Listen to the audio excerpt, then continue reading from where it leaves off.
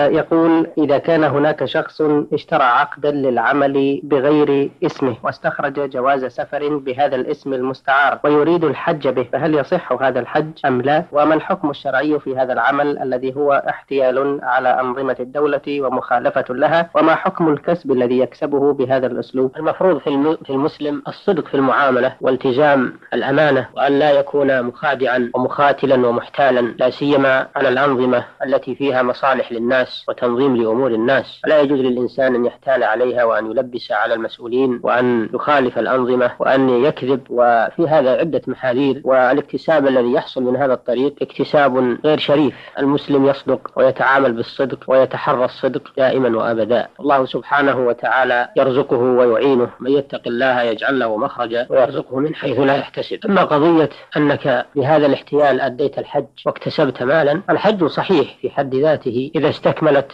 آه، أحكامه وأديت ما أوجب الله تعالى فيه فإنه صحيح. ولكن عملك واحتيالك تعاقب عليه. فعليك أن تتوب إلى الله سبحانه وتعالى عن مثل هذا العمل. وكذلك الكسب إذا لم يكن آه، فيه معاملة محرمة ولا غش ولا ربا كان كسبا شريفا فهو كسب حلال. ولكن الطريق الذي ارتكبته والاحتيال الذي احتلته للوصول إلى ذلك هذا شيء لا يجوز وأنت تأثم عليه. الله تعالى أعلم. أحسن الله إليكم.